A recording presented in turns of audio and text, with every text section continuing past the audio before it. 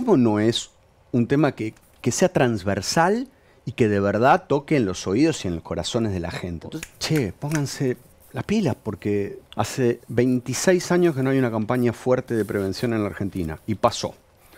Carlos Saúl, Dualde, De la Rúa, Puerta, Rodríguez A, Alberto, Cristina, Mauricio, Néstor. Digo, todos esos pasaron, derecha, izquierda, arriba, abajo, y no hubo una campaña, no toca el tema al- a los intereses